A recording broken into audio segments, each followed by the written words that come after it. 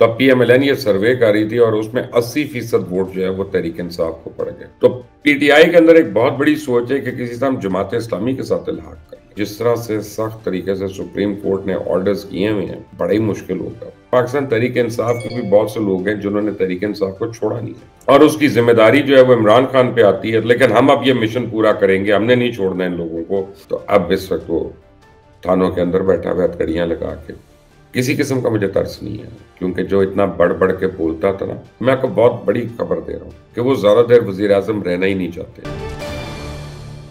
असलम आप देख रहे हैं मुबशर लुकमान यूट्यूब चैनल, मेरा नाम मुबशर लुकमान है और एक अभी एक बहुत ही इंटरेस्टिंग चीज़ मेरे सामने से गुजरी है। मैं आपके साथ शेयर करता हूँ। अब मैं तो इतना जानता नहीं हूँ सोशल मीडिया अकाउंट्स को, मेरा मतलब है कि जो फॉलो करते हैं, जो day to day basis follow करते हैं, उनको पता होता है। मुझे तो नहीं इतना पता, लेकिन अपेरेंटली पीएमएलएन के डिजिटल अकाउंट से दो सर्वेज हुए। एक तो यह है कि इलेक्शन कौन जीतेगा और पॉपुलैरिटी के हवाले से। तो अब पीएमएलएन ये सर्वे कर रही थी और उसमें 80 फ़ीसद वोट जो है वो तहरीक इंसाफ को पड़ गए। तो पीएमएलएन को अभी तक ये नहीं पता चला कि तहरीक इंसाफ का वोटर कहीं हो ना हो वो सोशल मीडिया पे ज़रूर मौजूद है। ये तो हो सकता है कि वो घर में ना हो, ये तो हो सकता है पोलिंग बूथ में ना हो, ये तो हो सकता है हल्के में ना हो, लेकिन वो सोशल मीडिया पे है।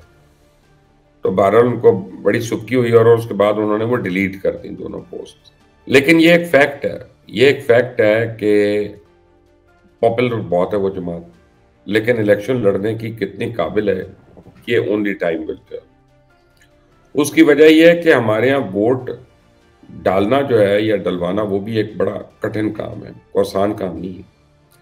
आप वोटर को जमा करते हैं, आप उसको लेकर आते हैं, आप वोट डलवाते हैं, उसके बाद आप अपने डब्बे की हिफाजत करते हैं और आप उसकी काउंटिंग करवाते हैं और आप उसका रिज़ल्ट लेके जाते हैं। सिर्फ़ पोलिंग के दिन जो है ना, ये कई मराहल होते हैं। उससे पहले तो अलग मरहले हैं। वो तो बिल्कुल अलग है। तो यहाँ पे तहरीक तहरीक साहब का वोटर भी और सपोर्टर भी जो है वो बेयार मददगार और यतीम फिर रहा है। वो वोट डालना चाह रहा है उसको, लेकिन उसको ये नहीं पता उसका हल्का कौन सा है, उसका बूथ कौन सा है, उसने कहाँ पे जाना है। और अगर आखिर में थोड़ी बहुत रद्दोबदल भी हो गई तो लोगों ने घर बैठ जाना। तो उसमें इन्होंने मुखालिफ जमातों को बड़ी एक फ्री राइट दे देनी है। जो एक्चुअल इलेक्शन और ट्विटर का इलेक्शन है, उसमें ज़मीन आसमान का फ़र्क है। लेकिन बहरहाल अभी जो है पीएमएलएन जो है, वो इतनी कॉन्फिडेंट नहीं है। कि उनकी ग्राउंड पे जो वर्किंग है वो कामयाब है कि नहीं? और इसीलिए जो इलेक्टेबल्स हैं, उनको मिलाने की कोशिश हो रही है। और इसीलिए और लोगों पे उन्होंने ज़ोर डाला हुआ है कि भाई ये इलेक्टेबल्स हमारी झोली में डालो, जिस साल 2018 में तुमने इमरान खान की झोली में इनको डाला था। तो अब एक और तैयार हो रहा हो हालाँकि पीएमएलएन के पास तो पूरी एयरलाइन है। शायद का कान अब्बासी जो है, वो एयर ब्लू के रुए रवा है। तो एक जहाज़ की तो उनको प्रॉब्लम ही नहीं हो तो उनके पास तो पता नहीं कितने जहाज़ हैं, बड़े जहाज़ हैं, अगर वो करना चाहें तो। तो अब डेंट डालना शुरू हो रहे हैं और इस तरह से कि जनाब उनको बलूचिस्तान में से कुछ लोग दिलवा रही है और फिर उनको सिंध के अंदर भी कुछ लोग दिलवाए जा रहे हैं। क्योंकि मियाँ साहब बजिद हैं कि मैंने फेडरेशन की अलामत बन के सामने आना है। लेकिन मियाँ साहब जो हैं, उन्होंने अपने दोस्तों में एक बात की है और मुसद्दिका मैं बात बता रहा हूँ कि वो ज़्यादा देर वज़ीर अजम रहना ही नहीं चाहते।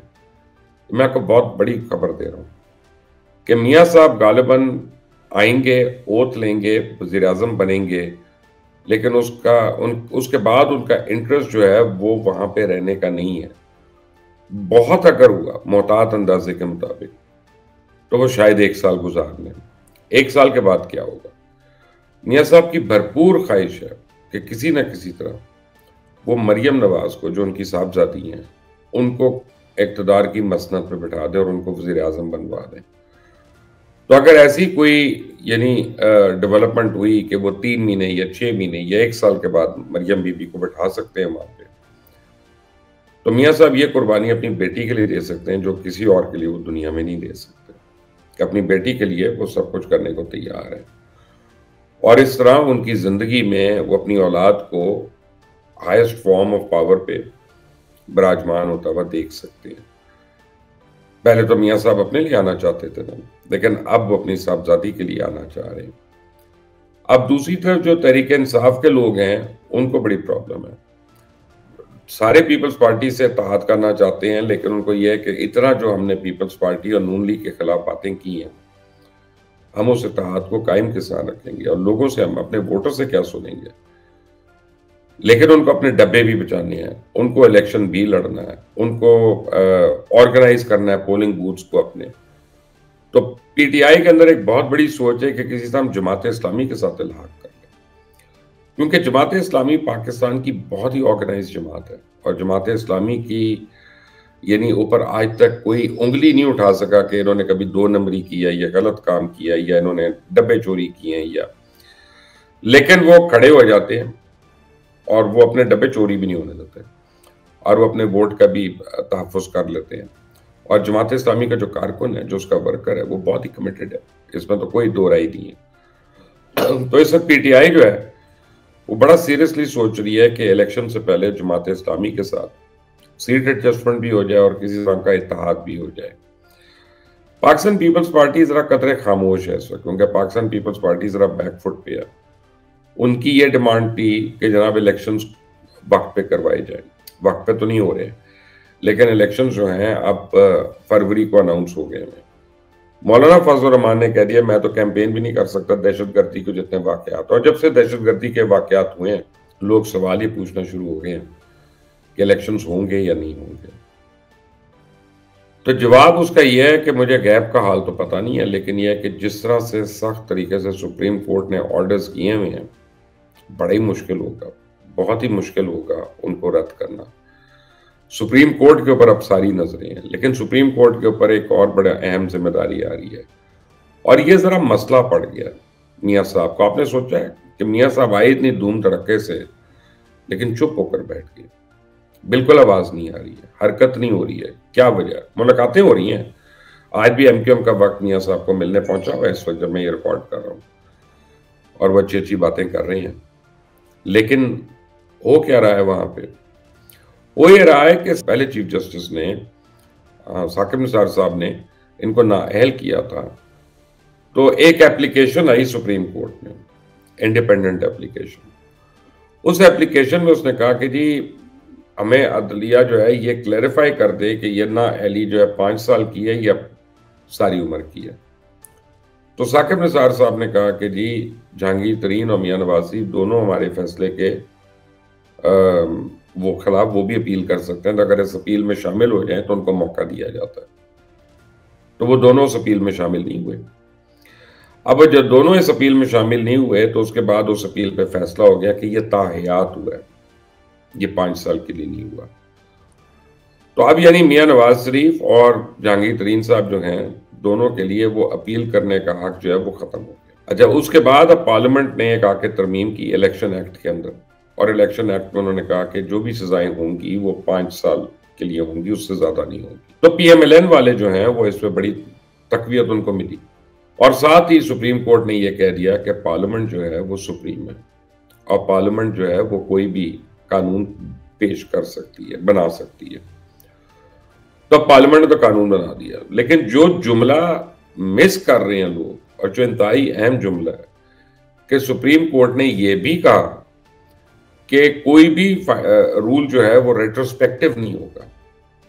यानी आज अगर पार्लियामेंट ये बनाती है कि जितने कातिल हैं, उनको सजा नहीं होगी तो जो आज के बाद कातिल होगा, उसको तो सजा नहीं होगी, लेकिन कल तक जिसने किया होगा, उसको उस कानून के मुताबिक होनी है, जो उस दिन प्रवेल कर रहा था कानून।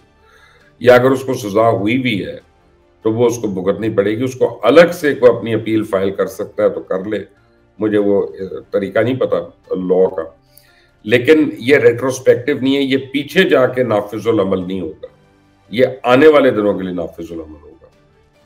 तो अब सवाल ये पैदा होता है कि कोई भी अगर रिटर्निंग ऑफिसर के पास जाएगा, मियाँ साहब का मुखालिफ जब वो उनके पेपर्स आएँगे और वो ये ऑब्जेक्शन करेगा। तो रिटर्निंग ऑफिसर में तो इतनी हिम्मत नहीं है कि वो मियाँ साहब के पेपर्स रिजेक्ट करे। तो ये बात जाएगी अपील सुपीरियर कोर्ट तक जाएगी हाई कोर्ट तक जाएगी, सुप्रीम कोर्ट तक जाएगी और ये मसला पड़ेगा।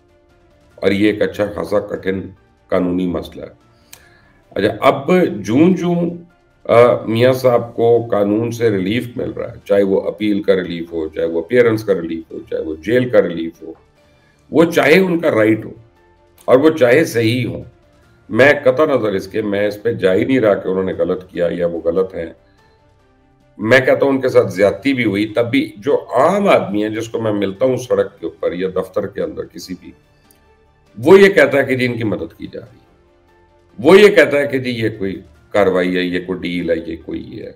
यानी किसी को यकीन नहीं आ रहा है इस बात का कि ये केसेस खुद ब खुद इनके फैसले हो रहे हैं। बल्कि वीडियो मैंने कल एक देखी, एक जज साहब ने रिजाइन किया हुआ था और अब कहते हैं, मैं वकील बनूँगा। और वो कहते हैं, ये कैसा कानून है कि जनाब एक आदमी मुजरिम है, वो आया और उसको पेश भी नहीं हो रहा और उसको आप बहरल जो भी है, लंबा चौड़ा उनका केस उन्होंने किया सो अभी तक ये सारा जो चीज़ें हैं ना, ये बैकफायर कर रही हैं। पहले इनको पीएमएलएन वालों को लगता था कि जब ये होगा तो लोगों को लगेगा कि हम इन पावर हैं, हम पावर में आ रहे हैं तो लोग हमारे साथ मिल जाएँगे आके ये वो। लेकिन ऐसा हुआ नहीं और ऐसा हो नहीं रहा। तो ये आने वाले इलेक्शन जो हैं, ये बहुत ही खौफनाक इलेक्शन होंगे। और मैं बताऊँ कि पाकिस्तान तरीके इंसाफ के भी बहुत से लोग हैं जिन्होंने तरीके इंसाफ को छोड़ा नहीं है। और वो छोड़ने को भी तैयार नहीं है।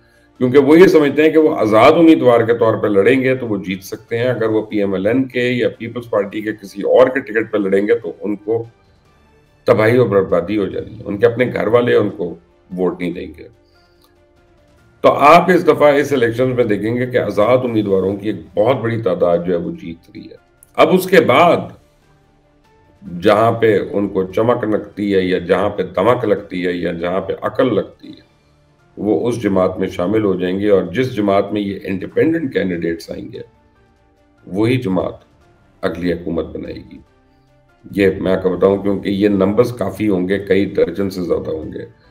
इस्तेकाम पार्टी बड़ी कोशिश कर रही है, लेकिन इस्तेकाम पार्टी से एक कंटेंट वाइज गलती हो गई। यानी छोड़ते ही उन्होंने इमरान खान की जो बुराइयाँ की, अगर ये लोग निकल कर फ़र्ज़ करें, नून लीग की बुराइयाँ करते या पीपल्स पार्टी की बुराइयाँ करते तो कहते हैं कि इमरान खान ने इनको पकड़ा नहीं। और हम जिस वजह से तरीके इंसाफ में गए थे, इंसाफ करने या एहतसाब करने, वो वजह ही नहीं पूरी हुई। और उसकी ज़िम्मेदारी जो है वो इमरान खान पे आती है, लेकिन हम अब ये मिशन पूरा करेंगे, हमने नहीं छोड़ना इन लोगों को। तो हो सकता है कि पाकिस्तान तरीके इंसाफ के बहुत से नाराज़ वोट है, क्योंकि उस वक्त इमरान खान का ग्राफ पहले बहुत नीचे था, जब तक वो साइफर नहीं उसने निकाला था।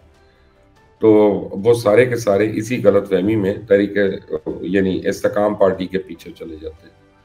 लेकिन जब उन्होंने निकलकर तरीके इंसाफ की बुराइयाँ की, इमरान की बुराइयाँ की, और मियाँ नवाज़ शरीफ को मिलने मुलाकातों का एक सिलसिला जारी रहा और कोशिशें नहीं कि हमारा इलाक हो जाए, कुछ हो जाए, कुछ सीट एडजस्टमेंट हो जाए तो लोगों ने टोटली आउट कर दिया।